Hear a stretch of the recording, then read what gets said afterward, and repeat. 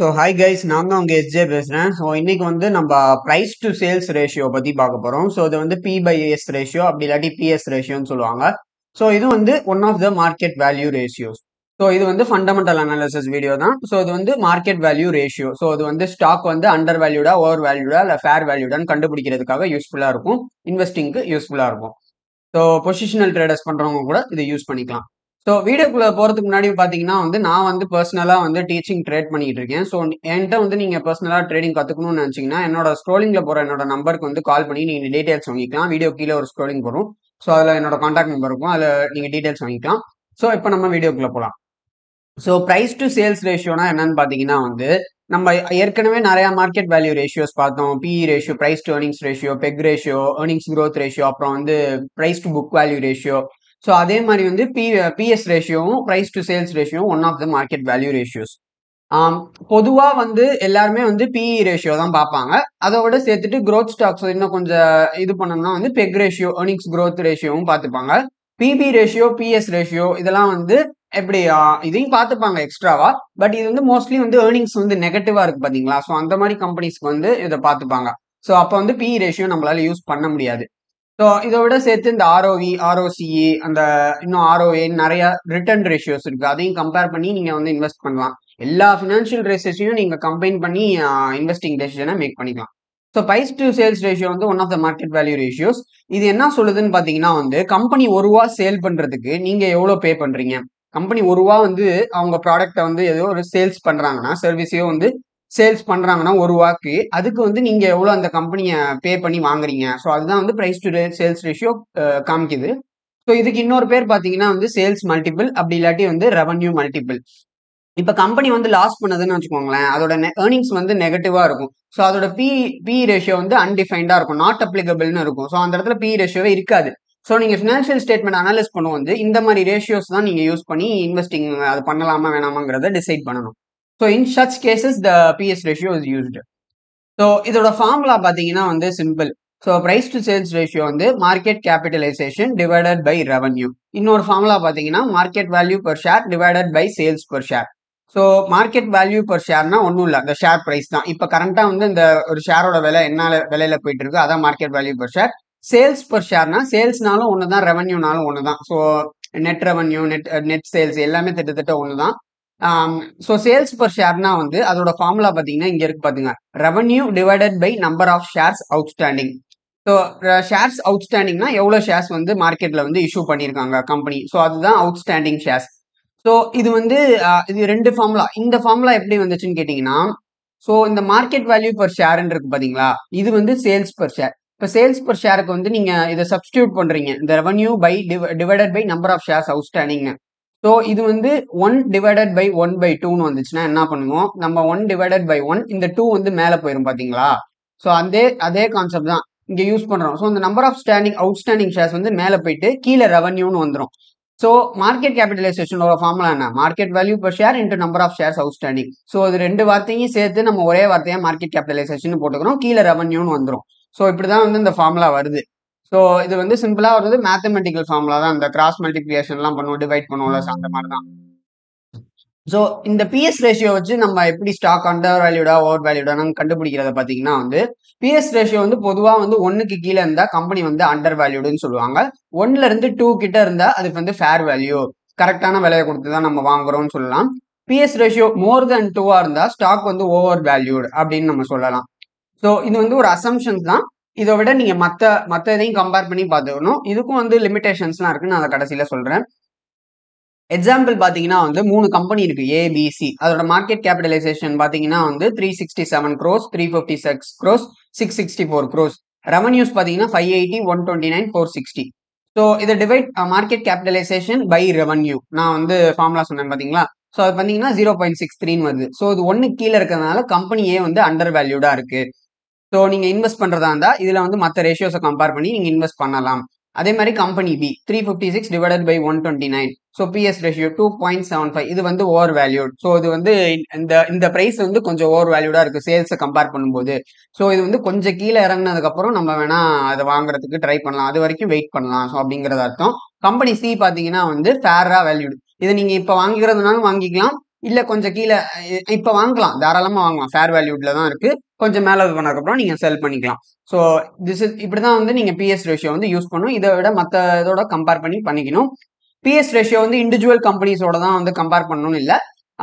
அதோட ஹிஸ்டாரிக்கல் வேல்யூஸையும் நீங்க கம்பேர் பண்ணி பார்த்துக்கலாம். அப்படி இல்லாட்டி வந்து அதோட குவார்டர்லி பேசிஸ் இல்லை இயர்லி பேசிஸ் அப்படி இல்லாட்டி மற்ற கம்பெனிஸ்ல மற்ற கம்பெனிஸ் இண்டஸ்ட்ரியில இருக்கும்ல மற்ற கம்பெனிஸ் அந்த ஸ்டாக்ஸோட கம்பேர் பண்ணி பார்த்துக்கலாம். ஸோ நீங்கள் எப்பொழுதுமே வந்து காம்படிட்டர்ஸோட கம்பேர் பண்ணி பார்க்கறது தான் வந்து எந்த ஒரு ரேஷியோ அனாலிசிஸ்க்குமே வந்து நல்லது. நெக்ஸ்ட் வந்து trailing PS ratio so trailing forward எல்லாத்துலேயும் நம்ம பார்த்துருப்போம். ஸோ ட்ரையலிங் பி ரேஷியோனா வந்து it looks at the trailing price to sales ratio looks at the company share price எதோட கம்பேர் பண்ணுவாங்கன்னு பார்த்தீங்கன்னா கட கடந்து போன பன்னெண்டு மாசத்தோட சேல்ஸ் அதை விட கம்பேர் அதை வச்சு அவங்க கேல்குலேட் பண்ணுவாங்க. இதை வந்து டிடிஎம் பிஎஸ் ரேஷியோன்னு சொல்லுவாங்க. டிடிஎம் தான் ட்ரையலிங் டுவெல் மந்த்ஸ் இதோட ஃபார்முலா பார்த்தீங்கன்னா market capitalisation by revenue for past twelve months so அதே மாதிரி ஃபார்வர்ட் பிஎஸ் ரேஷியோனா வந்து ஃபார்வர்ட் ஆர் ஃபியூச்சர் பிஎஸ் ரேஷியோனா வந்து கம்பெனி ஷேர் ப்ரைஸை வந்து relative to its estimated future next twelve months sales அதாவது கட அடுத்த பன்னெண்டு மாசத்துக்கு அனாலிஸ்ட் எல்லாம் வந்து இல்லை இன்வெஸ்டர்ஸ்லாம் வந்து அவங்களே எஸ்டிமேட் பண்ணிப்பாங்க. இந்த கம்பெனி வந்து இவ்வளோ சேல்ஸ் கொடுக்கணும் அவங்களே எஸ்டிமேட் பண்ணிப்பாங்க. இது வந்து அக்யூரேட்டாக கூட இருக்கலாம் இல்ல இன்அக்யூரேட்டாக கூட இருக்கலாம். ஸோ எஸ்டிமேட் பண்ணுறதை வந்து நம்ம வந்து கண்மூடித்தனமாக நம்ப முடியாது. அது வந்து ஜஸ்ட் ஒரு எஸ்டிமேட் தான். நம்ம ஒரு இதை வச்சு தான் நம்ம எடுக்கிறோம். அது அக்யூரேட்டாக இருக்கும்னு சொல்ல முடியாது.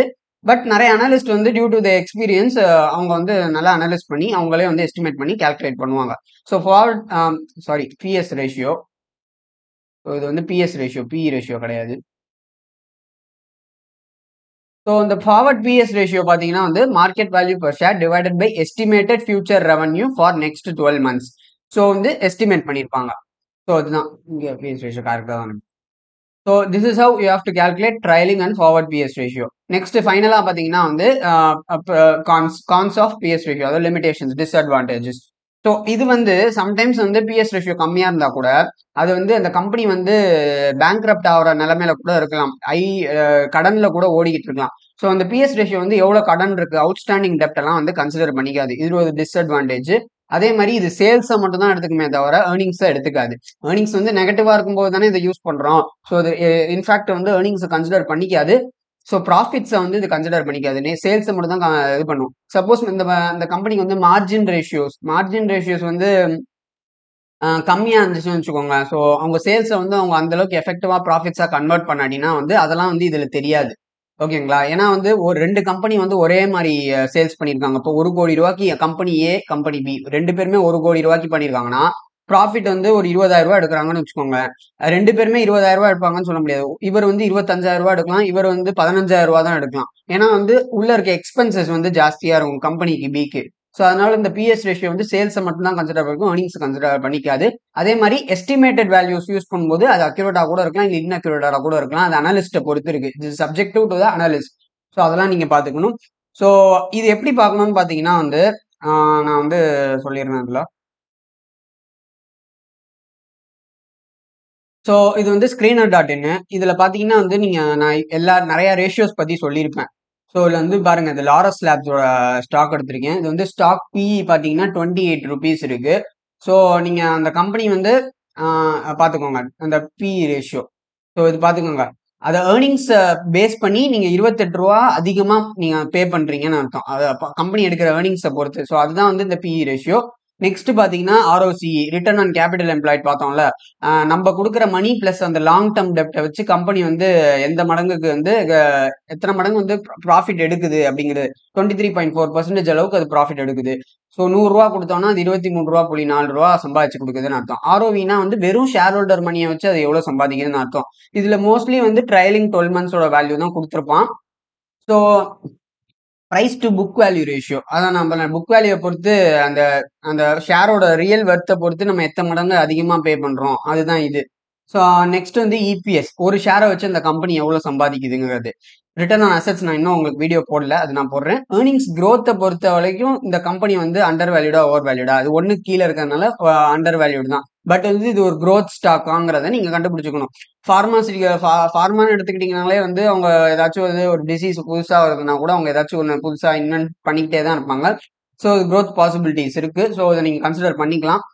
கரண்ட் ரேஷியோலாம் நான் உங்களுக்கு இன்னும் சொல்லலை அதெல்லாம் கொண்டு வரேன். இங்கே பாருங்க ஆர்ஓஇ ஃபைவ் இயர்ஸ் இருக்குது ஸோ இந்த மாதிரி நீங்கள் ஃபைவ் இயர்ஸ் அதாவது வெறும் டுவெல் மந்த்ஸுக்கு எடுத்துக்காம ஃபைவ் இயர்ஸ் த்ரீ இயர்ஸ்க்கு முன்னாடி எவ்வளோ இருக்குது அதெல்லாம் நீங்கள் கம்பேர் பண்ணி பார்த்துக்கலாம். ஸோ இன்ஸ்டன்சிக் வேல்யூ ஸோ இதுவும் நான் உங்களுக்கு சொல்லலை இது நான் இன்னொரு ரேஷியோவில் கொண்டு வரேன். இது டெப்ட் டு ஈக்விட்டி இதுவும் நான் சொல்லலை கொண்டு வரேன். ப்ரைஸ் டு சேல்ஸ் கம்பெனி ஒரு ரூபா சேல் பண்ணுறதுக்கு நீங்கள் வந்து நாலு மடங்கு எக்ஸ்ட்ராவாக காசு தரீங்க. இது வந்து overvalued in terms of sales this company is overvalued but இதெல்லாம் பார்த்தீங்கன்னா வந்து கொஞ்சம் எல்லாமே பார்க்க ஓவர் வேல்யூட் மாதிரி தான் தெரியும். பட் வந்து க்ரோத் ஸ்டாக்ஸுக்கு வந்து மோஸ்ட்லி வந்து அந்த ரேஷியோஸ் எல்லாமே அதிகமாக தான் இருக்கும். ஏன்னா வந்து இப்போதைக்கு மக்கள் அதிகமாக பே பண்ணுறதுக்கு ரெடியாக இருப்பாங்க. அது ஃபியூச்சரில் நல்ல ஏர்னிங்ஸ் கொடுக்கும்போது வந்து இந்த ரேஷியோஸ்லாம் ஆட்டோமேட்டிக்காக வந்து கம்மி ஆயிரும் ஸோ வந்து அதனால இதையும் நம்ம கன்சிடர் பண்ணிக்கணும். க்ரோத் ஸ்டாக்ஸுக்கு வந்து எப்போதுமே கொஞ்சம் ஓவர் வேல்யூடாக இருக்கிற மாதிரி தான் தெரியும். அதுக்காக வந்து அது வாங்கக்கூடாது. அப்படிலாம் ஒன்றும் கிடையாது. ஸோ அதுக்கு ஏற்ற மாதிரி க்ரோத் ஸ்டாக்ஸ் வேல்யூ ஸ்டாக்ஸ்லாம் பற்றி நான் இன்னொரு வீடியோ கொண்டு வரேன். ஸோ இதெல்லாம் பார்த்துக்கலாங்க இது return over five years asset turnover இது எவ்வளோ நிறையா இருக்கு பாருங்க.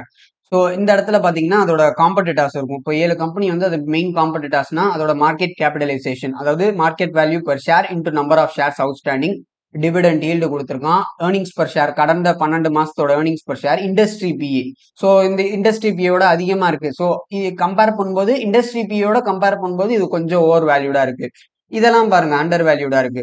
ஸோ பெக் ரேஷியோ படி இது undervalued ROE five years ROCE five years ROA twelve months debt to equity அது வந்து book value price to book value இது வந்து ப்ரைஸ் டு சேல்ஸ் வேல்யூ இது profit variance five years so அஞ்சு வருஷத்துல வந்து இது எவ்வளோ ப்ராஃபிட் அவங்க இது கொடுத்துருக்காங்க அப்படிங்கிறது சேல்ஸ் வந்து எவ்வளோ மேக் பண்ணியிருக்காங்க எவ்வளோ பர்சன்டேஜ் வந்து இது பண்ணியிருக்காங்கங்கிறது variations growth sales growth profit growth அப்புறம் வந்து இது இன்ஸ்டன்சிக் வேல்யூ ஸோ இவ்வளோ இது இருக்கும். இதை தவிர வந்து நீங்கள் நார்மலாக quarterly results income statement balance sheet இந்த மாதிரி பார்த்துக்கலாம். ஸ்க்ரீனர் டாட் இன் வந்து ரொம்ப யூஸ்ஃபுல்லாக இருக்கும்.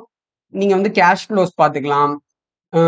இந்த டெப்டாஸ் டேஸு ஸோ எவ்வளோ நாளில் இவங்க பே பண்ணுறாங்க பணத்தை? இவங்க வந்து இவங்களுக்கு வர வேண்டிய பணத்தை எவ்வளோ நாள் வந்து இவங்க எடுத்துக்கிறாங்க? ஸோ அதெல்லாம் கூட இருக்கும். FII data foreign institutional investors DII data அது எல்லாமே இருக்கும். நீங்கள் பார்த்துக்கலாம்.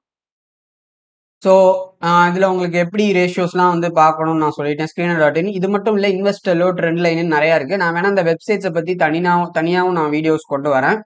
So hope you guys enjoy this video so இந்த வீடியோ உங்களுக்கு யூஸ்ஃபுல்லாக இருக்கும்னு நினைக்கிறேன். So give a thumbs up share it with your friends and family and subscribe to my channel and also press the bell icon so get notified for all my videos all பட்டனை press பண்ணுங்கள் அப்புறம் தான் உங்களுக்கு எல்லா நோட்டிஃபிகேஷன்ஸும் உங்களுக்கு கரெக்டாக வந்து சேரும். ஸோ அதை தவிர வந்து என்னோட வீடியோஸ் பிடிச்சிருந்தா கமெண்ட் பண்ணுங்க. ஒரு கமெண்ட் பண்ணுறதுனால ஒன்றும் ஆகப்படுறது இல்லை ஸோ நீங்கள் கமெண்ட் பண்ணுங்க. ஸோ அதே மாதிரி லைக்கும் போடுங்க. ஸோ சும்மா பார்த்துட்டு மட்டும் போகாதீங்க. ஏன்னா வீடியோஸ் வந்து நிறைய பேர் பார்த்துட்டு லைக் போடாமல் போயிடுவீங்க. ஸோ வந்து லைக்கும் பண்ணுங்க. ஸோ சல்லுன்னு ஒரு பட்டனை தட்டுறதுல என்ன வரப்போகுது? ஸோ வந்து லைக் பண்ணிடுங்க ஸோ அப்படியே வந்து சப்ஸ்கிரைப் பண்ணிடுங்க ஸோ அதை தவிர வந்து என்கிட்ட நீங்கள் ட்ரைனிங் கற்றுக்கணும்னு நினச்சிங்கன்னா வந்து பர்சனலாக வந்து நான் டீச் பண்ணிகிட்டு இருக்கேன். ஸோ என்கிட்ட கோர்ஸ் நீங்கள் எடுத்துக்கணும்னு நினச்சிங்கன்னா என்னோட நம்பர் கால் பண்ணி நீங்கள் டீட்டெயில்ஸ் வாங்கிக்கலாம். ஃபஸ்ட்டு டுவெண்ட்டி ஃபைவ் மெம்பர்ஸ்க்கு வந்து நான் டிஸ்கவுண்ட்டில் ப்ரொவைட் பண்ணிகிட்டு இருக்கேன். ஸோ நல்லா ஒர்த்தாக இருக்கும் என்னோட கோர்ஸ் நீங்கள் கன்சிஸ்டண்ட்டாக ப்ராஃபிட் மேக் பண்ணுற அளவுக்கு நான் உங்களுக்கு சொல்லி தருவேன். அதை தவிர்த்து வந்து நீங்கள் டிமேட் அக்கௌண்ட் ஓப்பன் பண்ணணும்னு நினச்சிங்கன்னா வந்து என்னோட வீடியோ கீழே வீடியோவில் கீழே இருக்க டிஸ்கிரிப்ஷனில் ஜிரோதாவோட லிங்க் கொடுத்துருக்கேன். ஸோ அது வந்து டிஸ்கவுண்ட் ப்ரோக்கரு ஸோ அது மூலியமாக நீங்கள் ட்ரேடிங் பண்ணி ஸ்டார்ட் பண்ணி ஏர்ன் பண்ண ஆரம்பிக்கலாம். ஸோ தேங்க்யூ கைஸ் அடுத்த வீடியோ உங்களை சந்திக்கிறேன். ஸோ அது வரைக்கும் பாபாய்